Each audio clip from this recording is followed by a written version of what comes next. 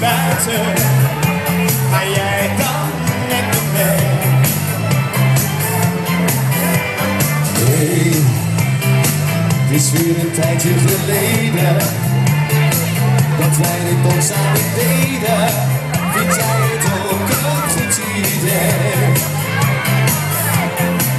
We zijn maar druk met onze eigen dingen. De dagelijkse sleur.